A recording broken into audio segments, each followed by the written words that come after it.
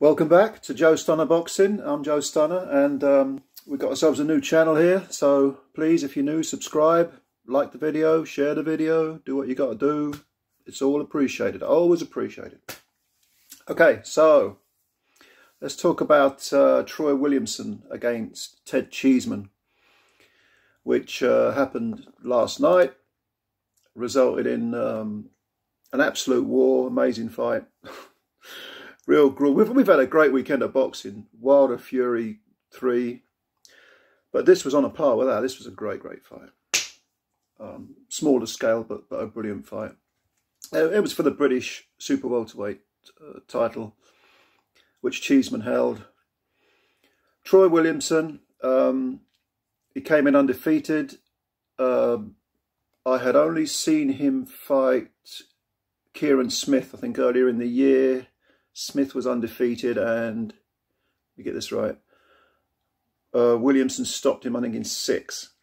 And I remember thinking, yeah, it's good. Good fighter. Heavy hands, knows the basics well. Uh, but what's going to happen if someone puts some heat on him? That's always the question with any young, undefeated fighter. Well, no surprise at all. Ted Cheeseman put some heat on Troy Williamson. Cheeseman never in a dull fight. Um, really asked so many questions of, of Williamson, and Williamson, to his absolute credit, answered all of them. I think probably the biggest crisis is probably too big a word, but the biggest test, if you like, was in the seventh round when Cheeseman really landed some meaty punches, and Williamson was sh shaken.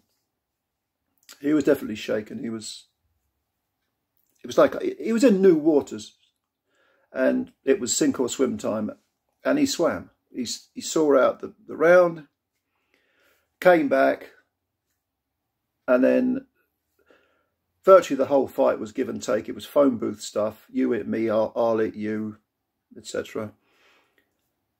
About a minute or so into the tenth round, um, Cheeseman was on the ropes as he so often was took a few punches, threw a few punches back. And then Williamson landed an almighty left hook which flattened Cheeseman. The fight was over before Cheeseman hit the canvas. And that's the first stoppage defeat of Cheeseman's career. Now, all credit to Williamson. Terrific performance. Like I say, answered all the questions, the mental questions, you know, how strong are you? Can you work through adversity? Can you keep your composure? Can you not panic? All that stuff was answered in the affirmative. And all credit to Cheeseman for asking those questions and for giving everything like he always does. But as great as the fight was, I wanted to raise another issue because I kind of worry about Ted Cheeseman. Okay. I've been a boxing fan all my life. You know, I've been a boxing fan for well over 40 years, since I was a nipper. And Ted Cheeseman belongs in that bracket of Bazooka Limon, Bobby Chacon, Arturo Gatti, Matthew Saad Muhammad, you know, kill or be killed. I will give you everything and I'll go to hell and I'll come back. And I'll go to hell again and maybe if I'm lucky I'll come back again. But if I don't come back, if I end up getting smashed up, I'm going out on my shield. Kind of like Deontay Wilder yesterday whatever you think of Wilder, and God knows I've had, I've said some criticisms of him and some rude things about him. He's a fighting man, and his courage is immense. And it's the same with Cheeseman. Now this is great because for us as spectators, because we love all this stuff. Yeah, you know, it's brilliant stuff. Yeah, you know, we're gonna look at that. Wow, what a punch! Oh, what a fight! You know, there's blood flying everywhere.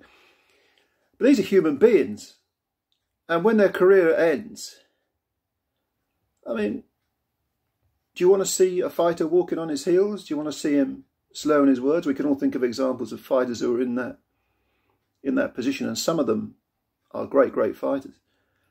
Tommy Hearns is one of my heroes as a kid. Sad to see him interviewed now. Meldrick Taylor's another one. James Toney.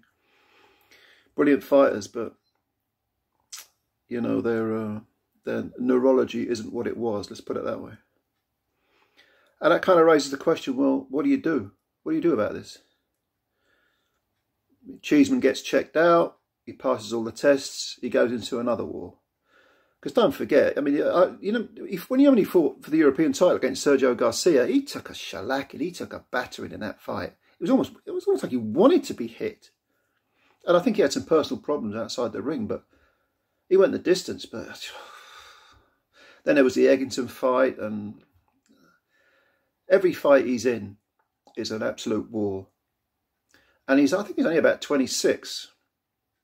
But in fistic terms, I mean, the sort of pugilistic miles on the clock, he's in his mid to late 30s. So you've got to worry about this. I don't know what the answer is. How we protect these fighters from themselves. I don't want to see any of them get really badly hurt. So it's kind of a it's an open-ended question, really. I don't really have the answer to it. Um, but well done Troy Williamson for a British title win. Ted Cheeseman, I hope he's okay.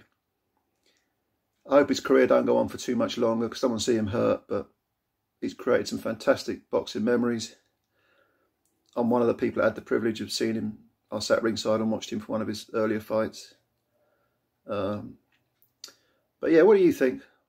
Uh, what do you think about the fight? What do you think the answer is for protecting fighters from themselves? Uh, leave your comments below. Um, like I say, this is Joe Stunner Boxing. Uh, thanks for listening. And uh, see you again sometime. You take care.